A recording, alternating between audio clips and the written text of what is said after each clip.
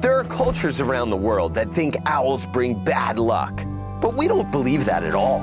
Check out this great horned owl. He's nocturnal, so he hunts at night using those big yellow eyes to spot his target from so far away.